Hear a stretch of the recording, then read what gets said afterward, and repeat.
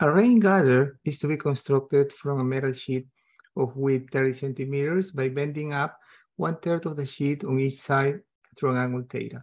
How should theta be chosen so that the gutter will carry the maximum amount of water? Okay, as usual, let's label some distances here, 10. Let me call this height 10 sine of theta, right? Because clearly this is theta. Here theta as well. So this height should be 10 sine of theta, right? Now this base should be 10 cosine of theta. This base 10 cosine of theta. And this piece in between is just 10. Great. Okay, now let's write the goal clearly. The goal is to maximize volume, right? Volume, the volume of water inside gutter. Okay, but now in order for me to visualize what's going on here in three dimensions, let me do this. I'm not an artist, but more or less this is what is going on here, right? You may say, Professor, we don't have the depth. Yeah, we don't, but uh, this is 10. We don't have the depth. Assume that that depth is L. L. Turns out for this problem, you will see that the answer does not depend on the depth, L, and does not even depend on this measure 10. You will see, you will see, guys. Okay, so, and the height we're saying is 10 sine of theta. And this base, this base of the trapezoid should be just the sum of these three guys, 20 cosine of theta plus 10, right? Great. Now, I gotta compute the volume in general, right? In general, the volume should be the area of this trapezoidal base times this depth L, right?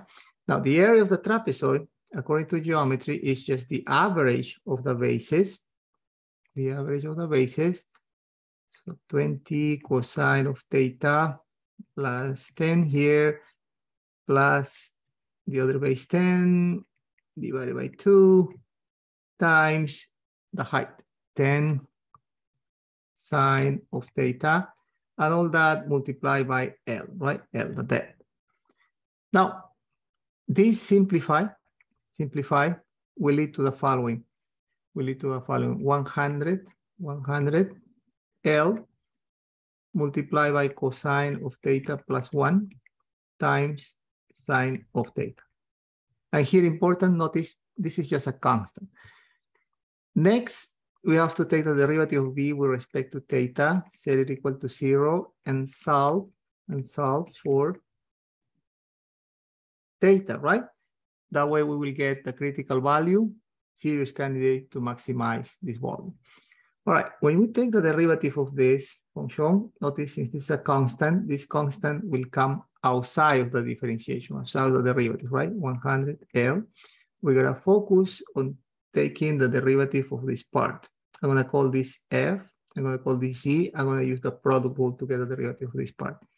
So based on the product, derivative of F is just minus sine of theta times the other function sine of theta plus derivative of the second function G, that is cosine of theta, times the other function in its original form, cosine of theta plus one, right? This is the derivative. And that should be set equal to zero. Now, important, notice if you divide both sides of this equation by 100 times L, which is a constant, this can be removed from the equation, right? Great. We get here then is sine square of theta plus cosine square of theta here plus cosine of theta equals zero. Notice this guy from trigonometry is 1 minus cosine square of theta, right? Plus cosine square of theta plus cosine of theta equals 0, right? Simplifying, we end up with this. 2 cosine square of theta plus cosine of theta minus 1 equals 0. This can be solved using the quadratic formula or even factoring we are gonna get as solutions cosine of theta equal one half and cosine of theta equal negative one. Now, this solution doesn't make sense because notice theta ranges from zero to pi over two radians, right? So we ignore the solution. However, we keep this solution. This guy, cosine of theta equal one half will lead to theta being equal to the angle whose cosine is one half between zero and pi over two. That is pi over three radians or 60 degrees, right? Serious candidate to maximize this volume. But now, in order to make sure that this is the guy that will maximize the volume, let's do some evaluations. Give Theta here, volume here.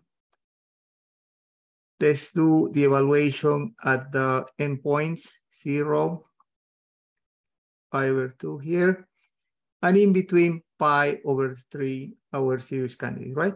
Notice, if theta is equal to zero, in this volume function, sine of zero, zero, zero, right? No water held, obviously, right? If theta is zero. If theta is pi over two, pi over two, notice cosine of pi over two, zero, sine of pi over two, one, this volume should be 100 L, right? Some volume there.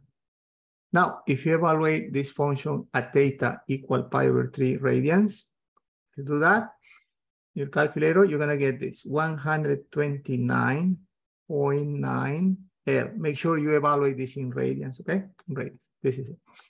Comparing, this is clearly the maximum volume. So therefore, we can say that if theta is equal to pi over 3 radians, the amount of water inside the gutter will be maximized. I hope this video helped you. If you like it, please subscribe to my channel. More videos coming up. Thank you.